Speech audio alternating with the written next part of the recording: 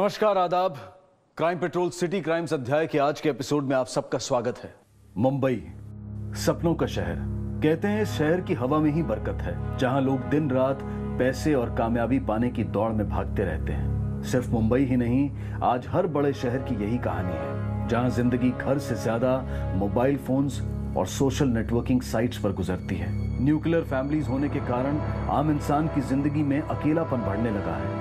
ये जीवन शैली अक्सर असुरक्षा और अशांति को जन्म देती है और कभी कभी ये भावनाएँ जुर्म को भी पनपने में मदद करती हैं। और हमारा आज का ये केस भी इसी तरफ़ एक इशारा है।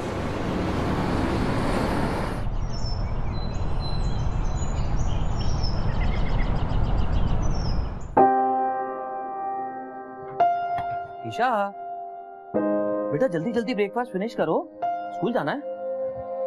ओहो कितनी बार तुम्हें मना करा है बेटा? सुबह सुबह टीवी नहीं देखते बुरी बात होती है। पापा प्लीज़ मेरा फेवरेट शो चल रहा है। कल रात को भी मम्मा ने टीवी देखने नहीं दिया। अच्छा ऐसी बात है तो स्कूल से आके देख लेना। अल्पा अल्पा आज टिफ़िन में लंच रखना केवल डिनर नहीं। कल का खाना तो खाया नहीं था और अस्ताना मार रहे हो। ताना नहीं मार रहा हूँ ऑफ़िस में टाइम नहीं मिलता। और ये फालतू की बात है अब रात को करना। रात की बात दिन में दिन की बात रात में। भावेश मुझसे शादी करके पछता रहे हो ना? क्या लगा रखा सुबह सुबह ये? तुम्हारी वजह से मैंने जॉब छोड़ी घर संभाला। लेकिन फिर भी तुम मेरी किसी बात से खुश नहीं होते। देखो ऐसा है। ये फालतू की बातों के लिए मेरे पास वक्त नहीं है। ये किसी पिटी बातें अपने लिए रखो। ईशा को पालने की ज़िम्मेदारी का फैसला तुम्हारा था। अब अपने इस फैसले पर तुम पछता रही हो मैं नहीं। हटो मुझे लेट हो रही मम्मी प्रोजेक्ट का प्रिंट आउट निकालना तो भूल गए। कल नहीं बता सकती थी। अभी दस मिनट में बस आने वाली है और तुम्हें प्रिंट आउट चाहिए। अब इतनी सुबह कहाँ से अरेंज करो प्रिंट आउट चलो बेटा पापा को बाय करो। जल्दी मिलते हैं। मेरे लिए वो वाली चॉकलेट लाना। Bye bye love you mamma आप तो कहते हो कि लड़ाई झगड़ा करना बुरी बात है फिर आप पापा से डेली फाइट क्यों करते हो? ईशा बेटा हमारी फाइट पर ध्यान मत दो। और आगे से हमारे बीच कोई फाइट नहीं होगी ठीक है? पर मम्मा प्रिंट आउट का क्या करे? टीचर मुझे पनिश करेगी। मोहित दादा से लेने पड़ेंगे। एक काम करो बेटा तुम मोहित दादा के पास जाओ और प्रिंट आउट निकलवाओ। जब तक मैं तुम्हारा बैग और टिफ़िन पैक करके लेकर आती हूँ। जाओ जाओ जल्दी जाओ बेटा। लेट होगा। जाओ जाओ जाओ।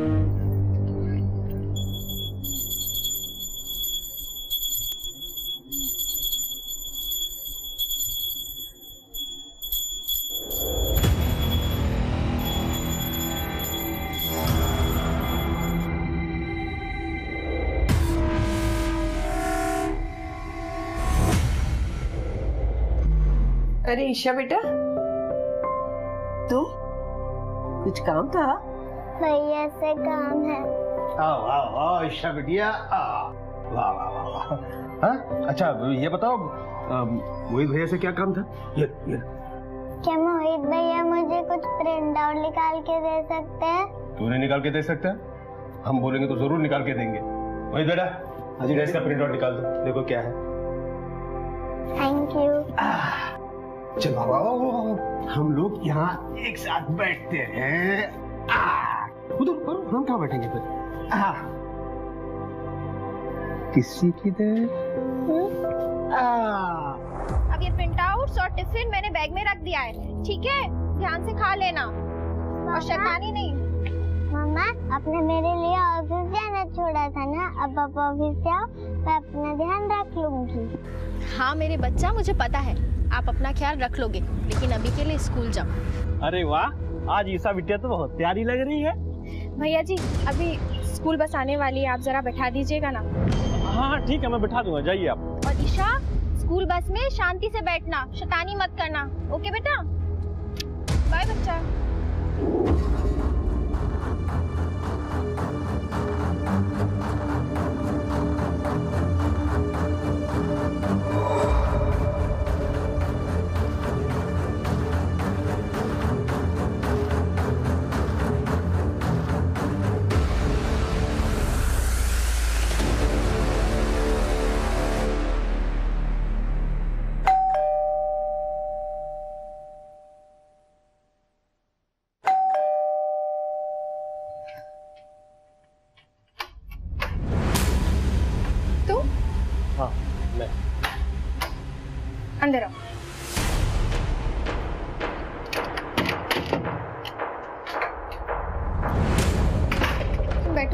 मैं तुम्हारे लिए ठंडा लेकर आती हूँ।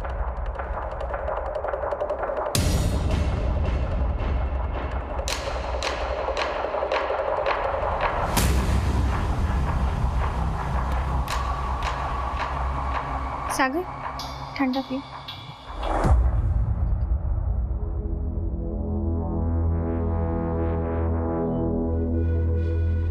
क्या हुआ?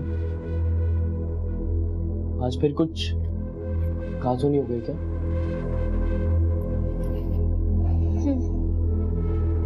ये तो रोज की बात है। ज़िंदगी से गिला करने से बेहतर है कि उसे नए तरीके से शुरू करो। ज़रूरी नहीं है कि ज़िंदगी हमेशा तुम्हें धोखा ही दे। नहीं सागर। अगर ज़िंदगी ने मुझसे कुछ छीना है तो उसके बदले भी मुझे कुछ दिया है। ईशा मेरी बेटी। वही मेरे जीने का सहारा है। और बताए, सागर, मुझे उम्मीद है कि एक दिन सब कुछ ठीक हो जाएगा। तुम ठंडा पियो।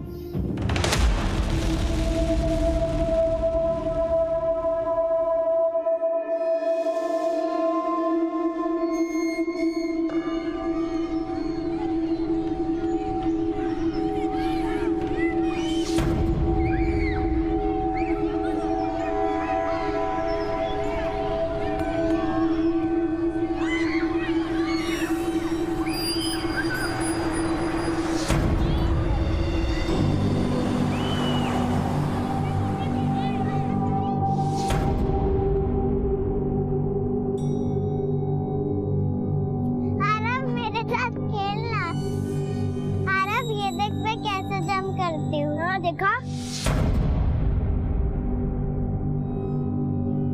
एक बार दिखा। अरे अरे अरे ईशा बेटा इतनी ज़ोर से जंप करोगी तो चोट लग जाएगी। इतनी देर से खेल रही हो। मम्मी पापा कहाँ है? मार्केट गए हैं। तो तुम नहीं गई? मुझे मार्केट में अच्छा नहीं लगता। अच्छा तो अब तुम दोनों और मस्ती नहीं करोगे ओके? मैं ऊपर वाली खिड़की से देख रहा हूँ। ठीक है? मैं घर जा रहा हूँ बाय बाय आरव हम कुछ और खेलते हैं ना? मेरी भूख लगी है। चलो मेरे साथ चलते नहीं, मैं अपनी मम्मी, पापा के साथ ही जाऊँ। तू ये ले, अब खेल और बाय बाय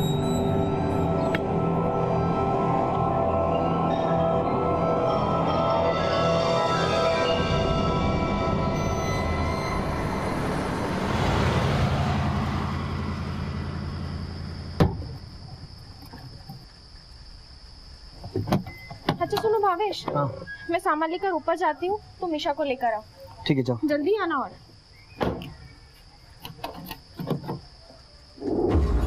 ईशा?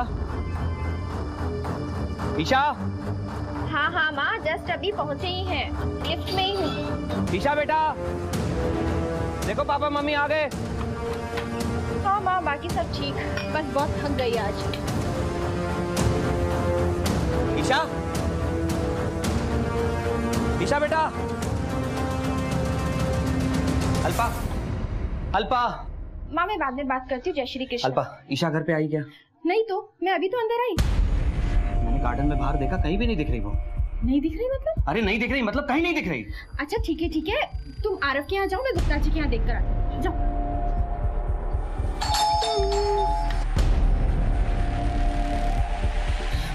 भाभी ईशा आई क्या?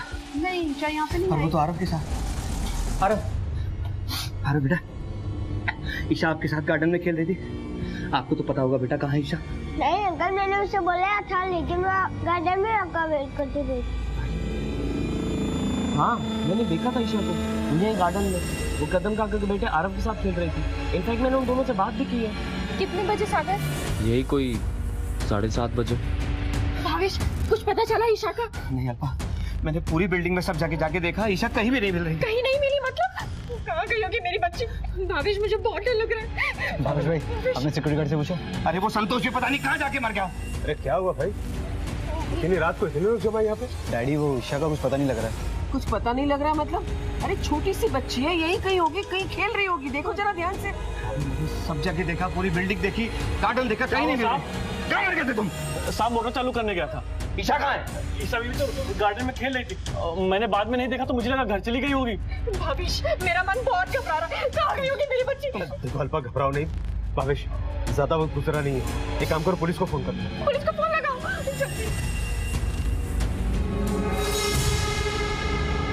अपने घर और अपने परिसर में हम अपने आप को सबसे ज़्यादा सुरक्षित महसूस करते हैं।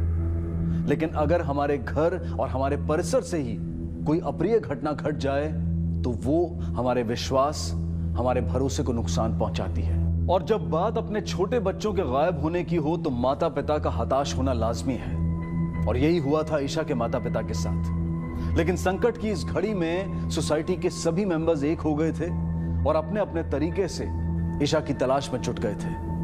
पर आखिरकार हार कर उन्हें पुलिस को बुलाना पड़ा।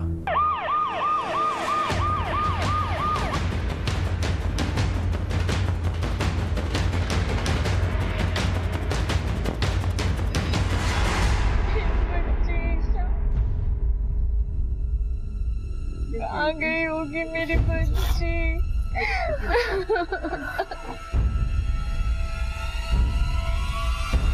भावेश गांधी कौन है? सर मेरा नाम भावेश गांधी सर। मैंने आपको कॉल किया था। सर ये मेरी पत्नी है अल्पा। बेटी कब से गायब है और कहाँ से गायब है? सर यही सोसाइटी के गार्डन से। सर आज संडे है और हर हफ़्ते की तरह हम लोग संडे को मार्केट जाते हैं। आज भी बस मार्केट के लिए निकले थे ईशा जल्दी से तैयार हो जाओ। चल के हमें लेट हो रहा है। नहीं मुझे खेलना अरे बेटा हम आज मार्केट जाएँगे मार्केट में पानी पूरी खाएँगे। चलो चलो चलो। नहीं पापा मम्मी को कहो ना।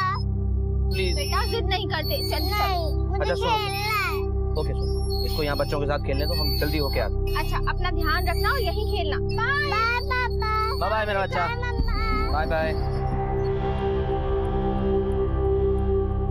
संतोष भैया हम लोग मार्केट जा रहे हैं और ईशा ना बाहर गार्डन में खेल रही है। आप प्लीज़ जरा ध्यान रखिएगा। हम जल्दी आते ठीक है मैं हूँ यहाँ पर। जी ठीक ठीक। देखना संतोष है? ठीक ठीक ठीक अब दस देर मत लगाना दस मिनट में निकलना। है बाबा।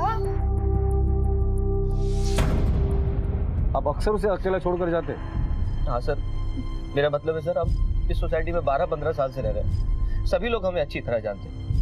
हमें कहीं बाहर जाना होता तो हम ईशा ईशा को पड़ोस में छोड़ के जाते हैं यहाँ गार्डन में बच्चों के साथ खेलने के लिए। और ये पहली बार नहीं हुआ हम ऐसा कई बार करते हैं। सर ईशा यही गार्डन में इधर उधर खेलती रहती थी या फिर किसी के घर होती थी। लेकिन आज सर वो कहीं पर भी नहीं है।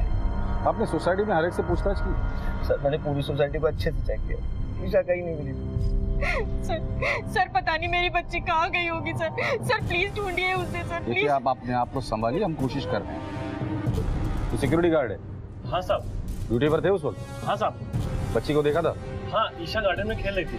मैं बस कुछ देर के लिए मोटर चालू करने गया था। उसके बाद नहीं देखा साहब। ये सीसीटीवी चल रहा है या शो पीस है? नहीं सर सारे कैमरास वर्किंग हैं। हमारे मैंने बैकअप लेके हार्ड ड्राइव अपडेट कर देते हैं। आप चाहो तो सोसाइटी ऑफिशियल के फ़ोटो चेक कर सकते हैं। चेक करेंगे। देखिए मिस्टर भावेश अगर आपकी बच्ची को किडनैप किया है तो आपको फिरौती के लिए कॉल ज़रूर आएगा। और अगर ऐसा कोई भी कॉल आता है तो सबसे पहले आप हमें कॉन्टेक्ट करेंगे समझे?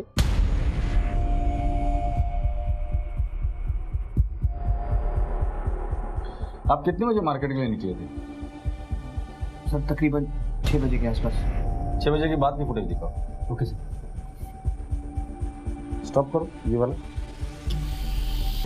ये आपकी बेटी है? सर ये मेरी बेटी है सर इस बच्चे के साथ खेल रही है। सर ये आरव है इसी सोसाइटी का बच्चा।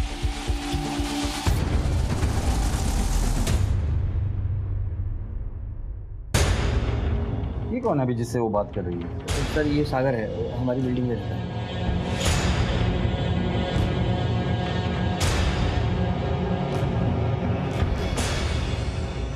सात पैंतीस को ईशा वहाँ से चली गई। सात चालीस को तुम्हारा वॉचमैन उसके पीछे चला गया।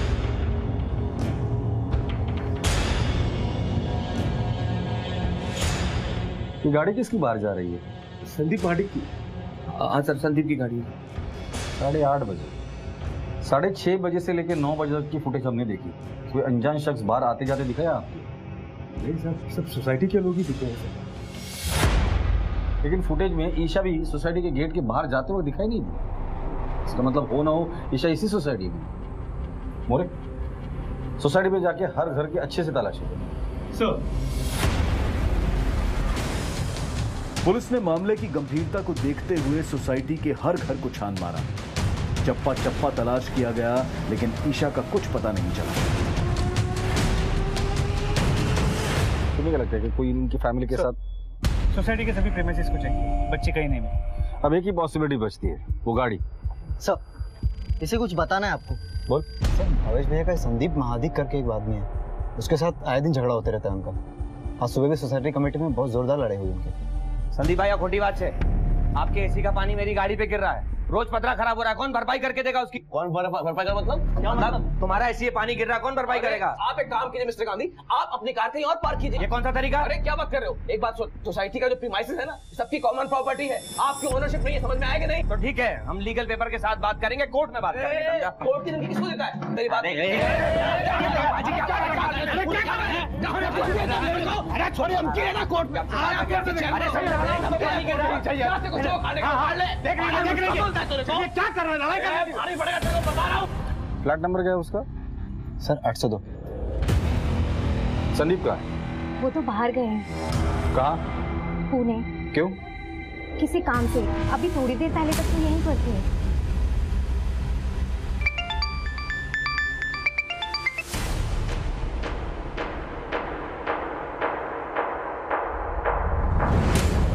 विशाखा मैं ये तो आहो थामा क्या हुआ?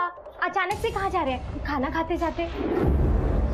विशाखा तेरे को कितनी बार समझाया? बाहर जाते समय पीछे से टोकने का नहीं। अच्छा सुन मैं पुणे जा रहा है अर्जेंट काम है। काम होते ही वापस आ जाऊँगा। तू दरवाज़ा बंद कर ले।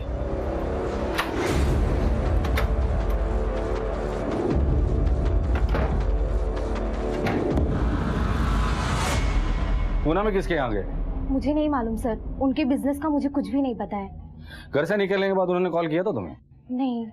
नंबर दो उनका। हाँ जी। Nine eight double zero.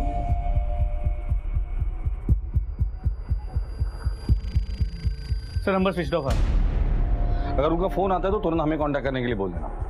जी सर। लड़की आठ और नौ के बीच गायब हुई है। और संदीप साढ़े आठ बजे अपने घर से पूना के लिए निकला था। अब दो पॉसिबिलिटीज बनती है। लड़की या तो इसी कॉम्प्लेक्स में या फिर संदीप के पास है। लेकिन सर सिर्फ़ गाड़ी पे एसी का पानी गिरने के झगड़े की वजह से कोई इतना बड़ा कदम क्यों उठाए? फिर उसका फ़ोन क्यों स्विच ऑफ़ है? उसका पूना के लिए निकलना और फ़ोन स्विच ऑफ़ होना ये कोई नहीं हो सकता। सर जिस तरह की फेंसिंग है यहाँ से बच्ची को उठाकर बाहर ले जाना मुश्किल है। घर की तलाशी कहाँ तक पहुँची? बस सर दो तीन घर ही बचे ठीक है। मोरे सिक्योरिटी गार्ड से अकेले में बात करो। हो सकता है कि संदीप के अलावा भी कोई एंगल हो इस केस में। सर साहब मैं अपने माँ बापू की कसम खा के कहता हूँ साहब मैं उस बच्ची के बारे में कुछ भी नहीं जानता हूँ। देख संतोष एक बच्चे किडनैप वो भी जब तू ड्यूटी पर पहले बच्ची विंग में जाती है और उसके पीछे तू जाता और फिर बच्ची किडनैप हो जाती ऐसी हालत में तुझ पर शक कैसे ना करे? बता कहाँ गया था? साहब गरीब आदमी हूँ साहब। मैं ऐसा क्यों करूँगा? तुम्हें उनके परिवार के बारे में कुछ ऐसी चीज़ नोटिस की है जो तुम्हें अजीब लगी हो? साहब वो सागर साहब अल्पा मैडम के आगे पीछे घूमते रहते हैं। हमेशा घूरते रहते हैं। और ईशा बेटे से कभी कभी आते रहते बात भी करते हैं। हाँ सर मैं आता जाता रहता हूँ अल्पा के घर पूरी सोसाइटी में तुम सिर्फ़ अल्पा से बात करते हो और ईशा को ही चॉकलेट देते हो। खास वजह? वो दरअसल अल्पा मेरी अच्छी दोस्त है लेकिन भाविश के बर्ताव से वो दुखी रहती है सर। तो तुम उसे कंधा देने का काम करते हो? नहीं सर। बस बात कर लेता हूँ। सिर्फ़ बात करते हो या कुछ और भी है? ईशा को कहाँ गायब किया तुमने नहीं सर। मैं भला ईशा को क्यों गायब करूँगा? मेरे और अल्पा के बीच में ऐसा कुछ नहीं है। मैं उस टाइप का लड़का नहीं हूँ सर तुम किस टाइप के लड़के हो इसका पता तो हम लगा ही लेंगे। लेकिन जब तक ये केस सॉल्व नहीं होता तुम शहर छोड़ के कहीं नहीं जाओगे सर मेरी ईशा किसी अजनबी के साथ नहीं जा सकती। कितनी छोटी है वो सर सर उसे ढूंढ के लाइए कहीं से भी वरना मैं मर जाऊँगी। सर मर जाऊँगी। इन दिनों में आपने ऐसा कुछ नोटिस किया जो आपको अजीब लगा हो? जैसे कि कोई आपका पीछा कर रहा हो या कोई ईशा से ज़बरदस्ती बात करने की कोशिश कर रहा हो कोई जान पहचान वाला कोई अनजान। नहीं सर हमने ऐसा कुछ भी नोटिस नहीं किया। और ना ही ऐसा कुछ सोचा था कि हमारी बेटी के साथ ऐसा कुछ होगा। ये सागर जो आपके सोसाइटी में रहता है उसके साथ आप लोगों का क्या रिलेशन है? सर कुछ नहीं बस ऐसे ही आते जाते जान पहचान है। हमारी ही बिल्डिंग में रहता है। क्या वो ईशा को नुकसान पहुँचा सकता है? नहीं नहीं सर। वो ऐसा क्यों करेगा? ठीक है। मोरे ईशा की फ़ोटो आसपास के इलाके में भी दिखा दो। हमें कोई भी पॉसिबिलिटीज को इग्नोर नहीं करना चाहिए।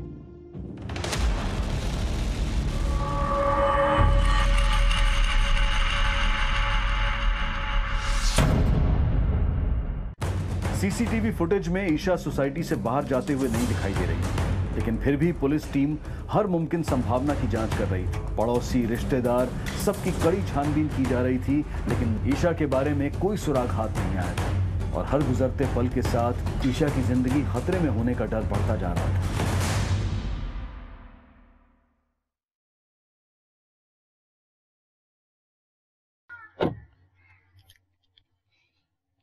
आपण संदीप माडिकात हो साहब संदीप माडिक मी आहेत। सर, मेरी कंपनी पुणे में पिछले काफ़ी सालों से ज़मीन खरीदना चाह रही थी। पैसे भी तैयार थे, सर। पर शाम को मेरे बिज़नेस पार्टनर का फ़ोन आया और बस मैंने पैसे का बैग उठाया और तुरंत पुणे के लिए रवाना हो गया। वो डील भी फाइनल होगी, सर।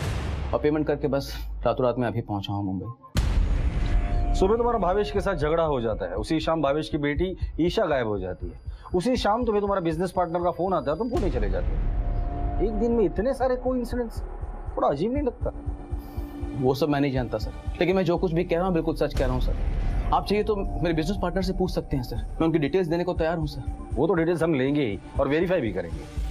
सर आप समझते क्यों नहीं सोसाइटी की छोटी मोटी झगड़े की वजह से ऐसा घिनौना काम मैं थोड़ा ही करूँगा। छोटे छोटे झगड़ों की वजह से बड़े बड़े जुर्म होते हुए हमने देखे हैं। अपने सारे डिटेल्स लिखवा देना और शहर छोड़कर जाने से पहले हमें इन्फॉर्म करेंगे दीक्षित गाड़ी चेक करो इनकी। Okay sir. अरे कमाल करते सर आप।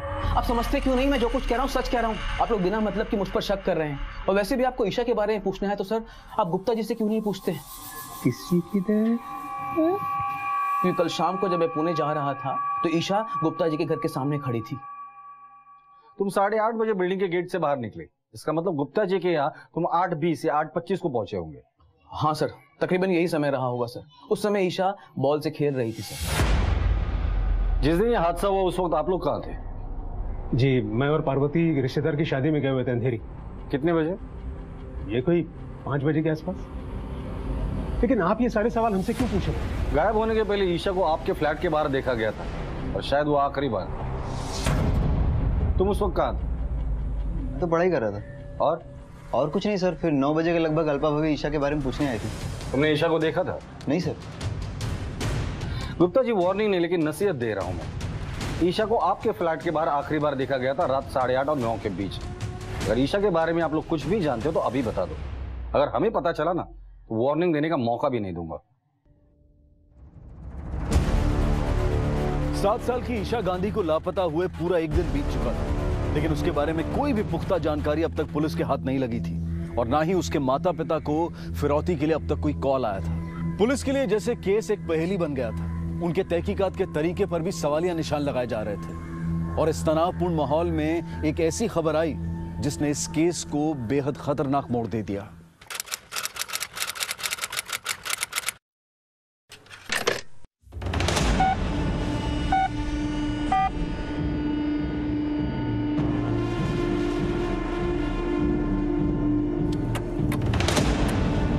बोरीवली के जंगल में एक जली हुई लाश मिली है।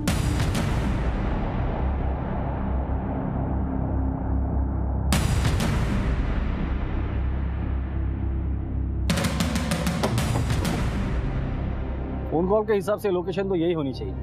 आसपास देखो कोई लाश मिल जाएगी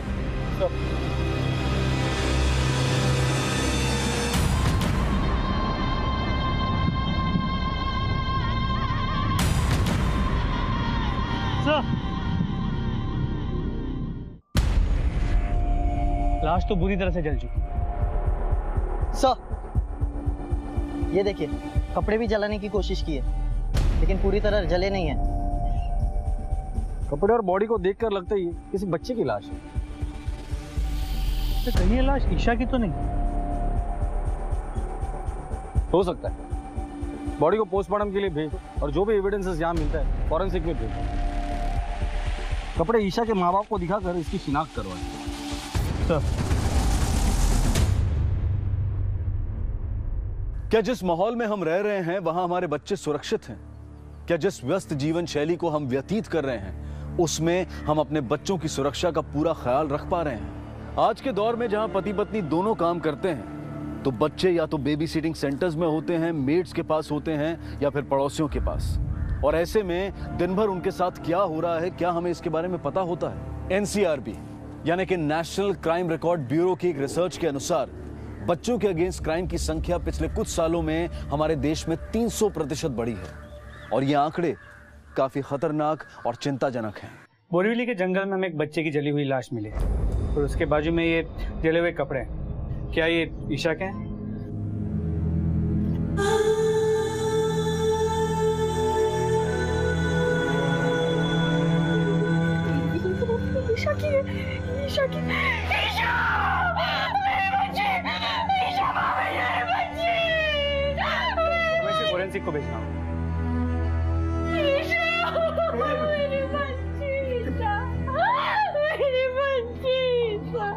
तुमने मारा है मेरी बेटी को तुमने। तुम नहीं बोला था ना उसे अकेला छोड़ दो। तुम नहीं मारा है मेरी बच्ची को। मेरे बच्चे।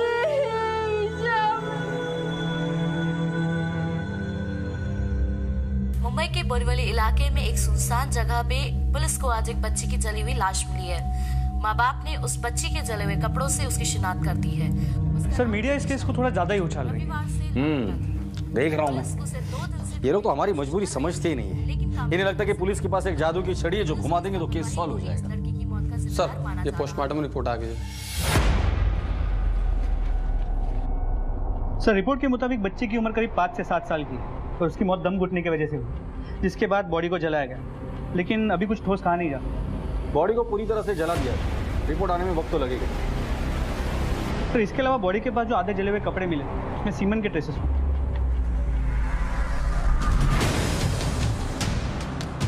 इसका मतलब बच्ची के साथ सेक्सुअल असॉल्ट हुआ है या तो रेप की कोशिश हुई। है। सैंपल्स को डीएनए टेस्टिंग के लिए लैब में भेजा गया। रिपोर्ट आने में वक्त लगेगा सर आपके ऑर्डर के मुताबिक हमने सोसाइटी के अगले दो दिनों की फुटेज ऑब्ज़र्व की है। ज्याच्यात एक गोष्ट शक वाढवत आहे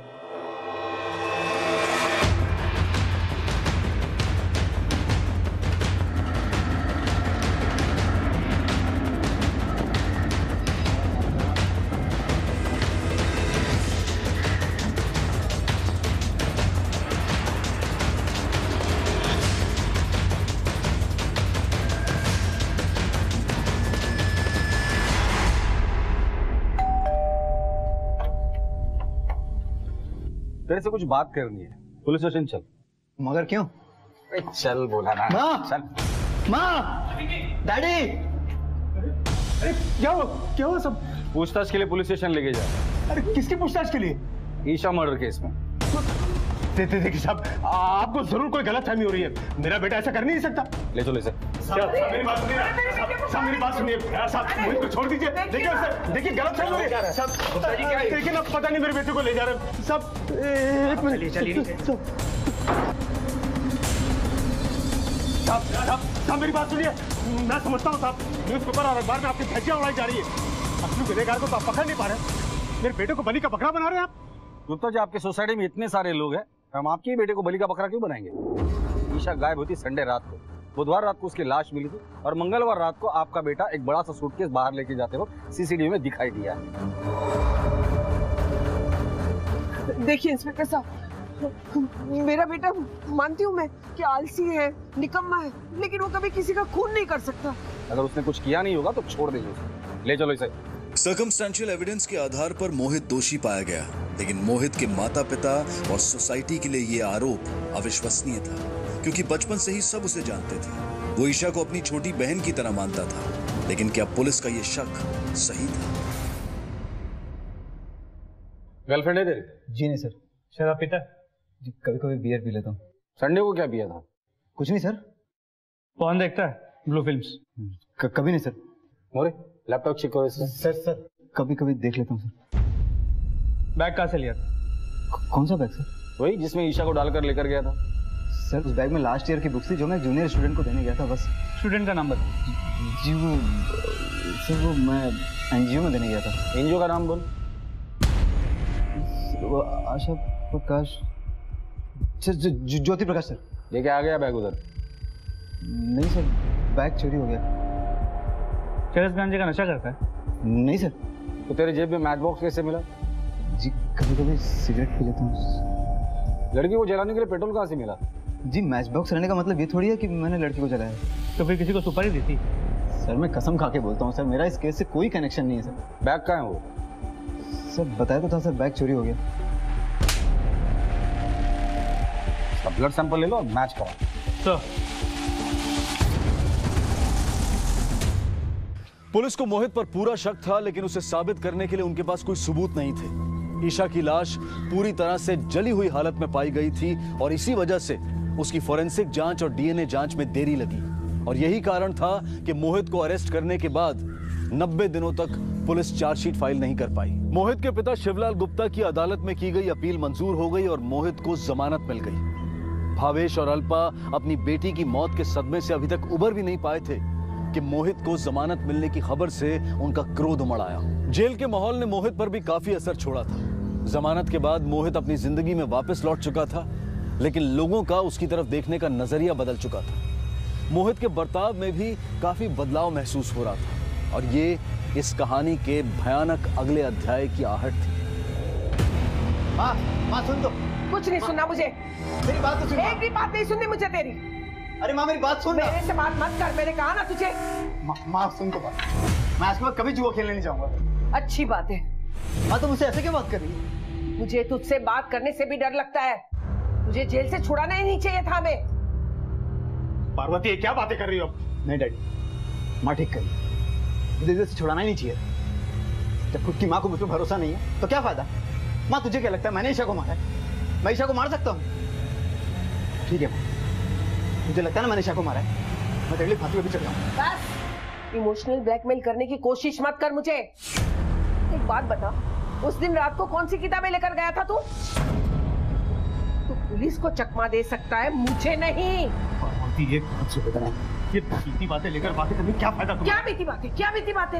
हाँ? जब देखो तभी बेटे का साइड लेते रहते हो। अरे बड़ी मुश्किल से अभी तो पुलिस ने छुड़ा के लाया उसे। बस आपकी वजह से ये बिगड़ता है। जब देखो तब बस बेटा बेटा बेटा और कुछ खराब हो जाए तो उसके बाद माँ के ऊपर जाता है सब कुछ। दिन भर तुम्हारे पास ही रहता है ना? देखा आ गए ना अपनी औकात पे। औकात मैं बुरी बन गई आपके सामने।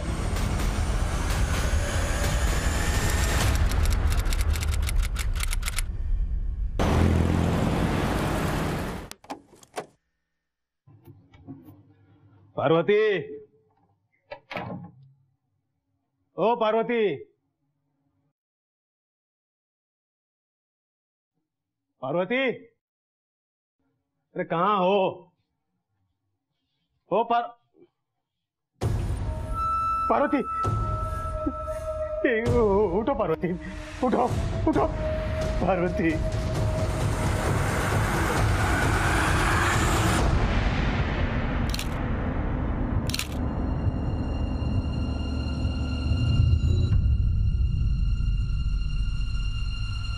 गुप्ता जी के मुताबिक उनकी बीवी के हाथ में दो सोने के कंगन थे जो गायब है और कबर से करीब पाँच से छह हज़ार रुपए भी गायब है। मतलब मर्डर का मोटिव पैसा है। इनका बेटा मोहित कहाँ है? सर मोहित का नंबर स्विच ऑफ़ है और गुप्ता जी ये बात मानने को तैयार नहीं है कि मोहित ये सब कर सकता है। सर सीसीटीवी फुटेज रेडी है। चलो। सर ये देखिए।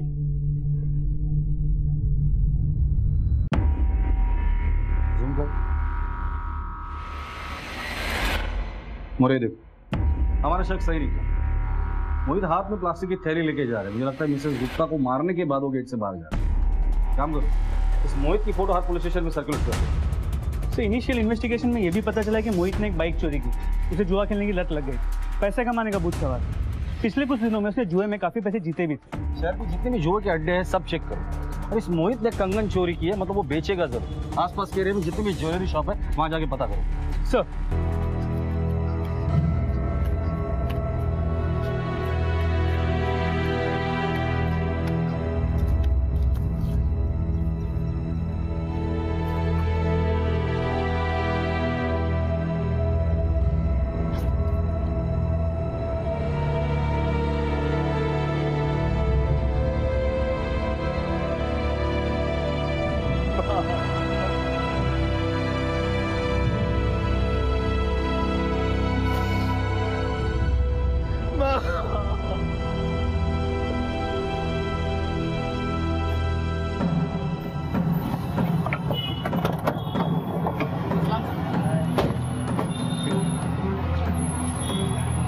सुना है तुमने एक लड़के से चोरी की ज्वेलरी खरीदी नहीं सर आपको किसी ने गलत इन्फॉर्मेशन दिया है और मैं चोरी का माल नहीं खरीदता तुम लोग बिना मार खाए सच नहीं बोलते हो ना?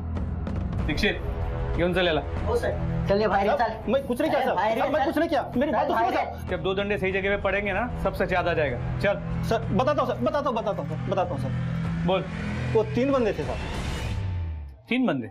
जी सर। सीसीटीवी कैमरा का फुटेज मुझे देखना है। जी सर मैं दिखाता हूँ।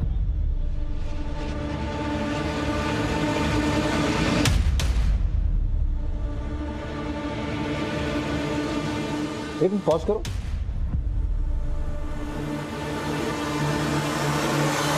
ये तो पीटर और जॉन है। Chain snatcher.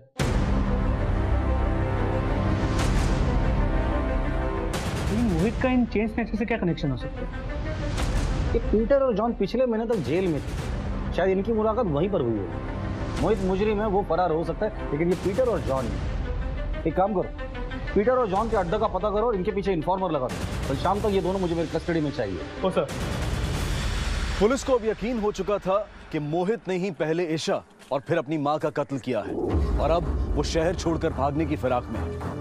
पीटर और जॉन दोनों नामी गुनहगार थे और पुलिस को उनके बारे में जानकारी जुटाने में ज़्यादा वक्त नहीं लगा।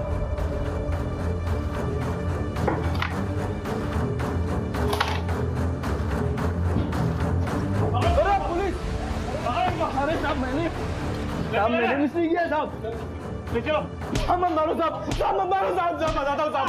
साहब, मत मारो, साहब। साहब, मत मारो, बताता हूँ, साहब, बताता हूँ, साहब। मारो, साहब, मत मारो, साहब, बताता हूँ, साहब। साहब, मत मारो, साहब। साहब पुणे जाने वाला है साहब वो सर पुणे जाने से पहले वो बैंगलोर जाने वाला। है और बैंगलोर जाने के बाद वो पुणे जाएगा।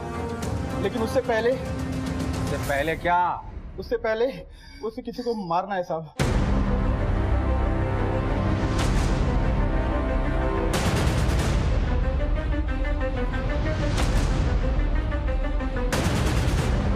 सोसाइटी में सबको अलर्ट कर दो और एक कांस्टेबल सिविल ड्रेस में 24 घंटे वहाँ लगा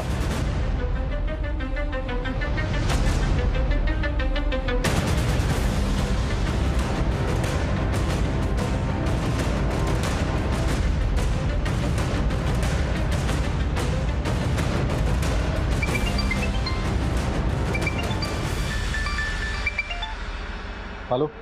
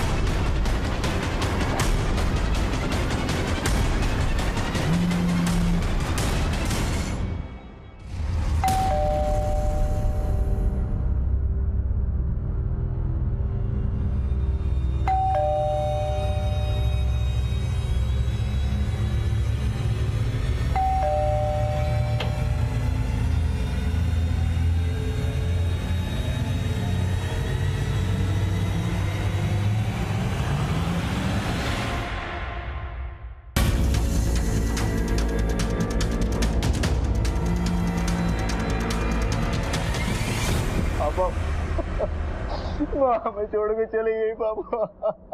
इतना प्यार करता था तो फिर उसे मारा क्यों?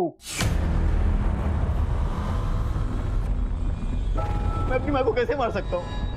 घर छोड़कर भागा क्यों? फूल भी यहाँ पर छोड़कर गया। माँ पर तुझे तरस भी नहीं आया? उस बच्ची को मारते हुए तुझे शर्म नहीं आई? अरे सच कहती थी तेरी माँ? मेरे लाड़ के आने सब बिगाड़ दिया आज उसकी बात सुनता नहीं वो ज़िंदा होती और तू घर के बाहर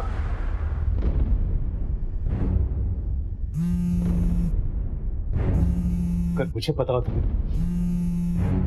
कि मेरे लॉर्ड डर से तेरी हालत होती तो तुझे उसी वक्त मार दिया होता।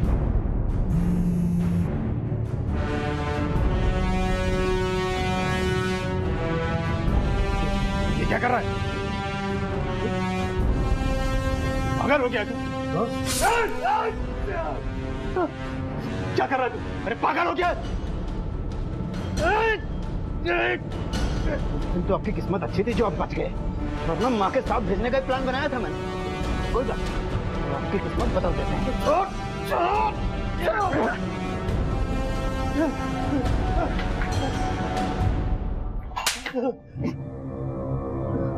क्यों मारा?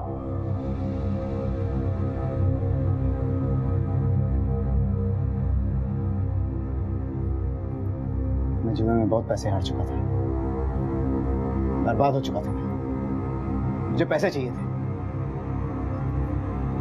बहुत डिस्टर्ब था। फिर मैं टेरिस पे गया। फिर मैंने टेरिस पे दिव्या और अमन को देखा। वो रोमांस करने में लगे हुए थे। वो देख के और डिस्टर्ब होने लगा मैं। मेरे साथ कोई रोमांस ही नहीं करता। कोई लड़की मेरे पास ही नहीं आती। ना मुझसे दोस्ती करती। एक बार फेल क्या हो गया। कोई लड़की दोस्ती नहीं करती मुझसे। मैं और ज़्यादा फ्रस्ट्रेट होने लगा। फिर मैंने फ्लैट के सामने ईशा को खेलते हुए देखा।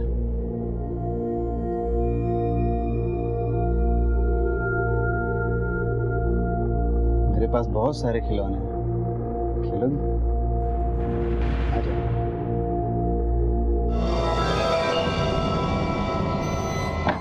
भैया वो न्यू गेम किधर है? तुम्हें तो मेरा नया गेम हो आओ एक नया गेम खेलते हैं पास आ जा फिर उस मुझे मुझे सब कुछ महसूस होने लगा। वो सब कुछ महसूस होने लगा जो मैं जो मैं देखा। तभी तभी दरवाजे के पीछे मैं घबरा गया उसकी चिल्लाहट बंद करने के लिए मैंने तकिया उठाया उसके मुँह पे मुँह बंद कर दिया। पता ही नहीं चला। उसकी चिल्लाहट कब बंद हुई मैंने तकिया उठाया मैंने देखा उसकी साँसें नहीं चल रही। मैं घबरा गया। मुझे लगा मुझे लगा। अब अब क्या होगा? अब मैं, क्या करूँगा? फिर मैंने एक बैग में उसकी लाश को ताकि किसी को खबर नहीं मौका देखते ही वो बैग को।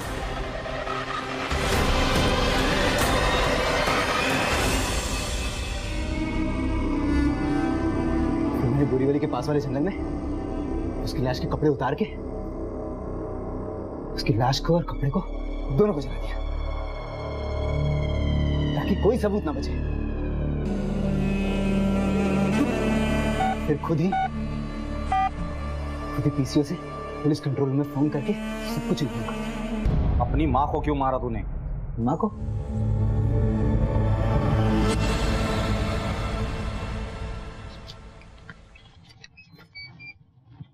हाँ पैसे चाहिए। पहले अपना गुनाह कबूल कर क्या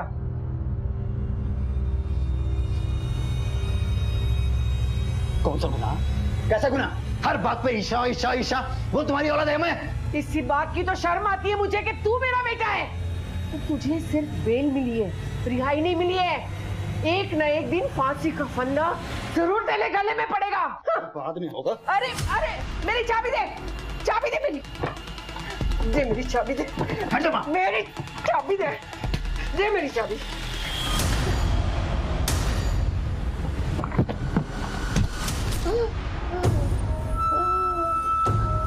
माँ माँ माँ।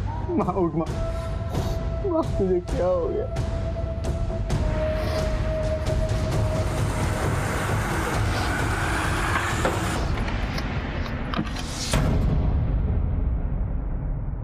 माँ ऐसी होती है क्या? पहले तो हर बात में साथ देती थी। पहले हमेशा मेरा सपोर्ट करती थी। फिर अचानक से बदल गई। मुझे पैसे चाहिए थे, वो पैसे नहीं देती थी मुझे।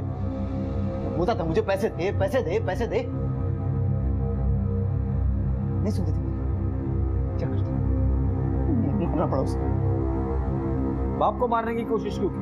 वो तो आँखें बंद करके तुझसे प्यार करता था। नहीं नहीं नहीं। डैडी भी अब माँ की जबान बोलने लगे थे। वो भी मुझ पर शक करने लगे कि मैंने ईशा को मारा है। उन्हें मुझ पर भरोसा ही नहीं रहा। फिर मैंने सोचा कि दोनों ज़िंदगी भर साथ रहे तो इनको भी माँ के पास पहुँचा दूँगा। तो कितना अच्छा रहेगा। दोनों आगे भी साथ रह लेंगे। फिर सारी दौलत, सारा पैसा मेरा हो जाएगा। उनकी ज़िंदगी का तो मुझे पता नहीं, लेकिन तेरे जीते जी उस जेल से बाहर नहीं जाएगा, ये मैं तुझे लिख के देता हूँ।